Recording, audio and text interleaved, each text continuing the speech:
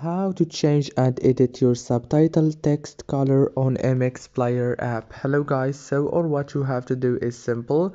Go to mx player this is the home page. Now go to the top corner click on those three lines and go down click on local player settings.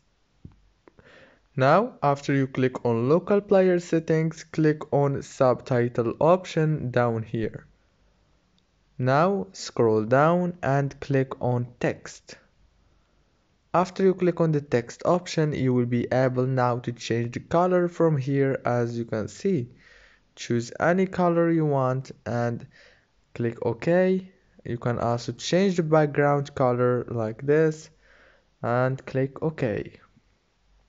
After you finish, click down here OK and it will be saved successfully.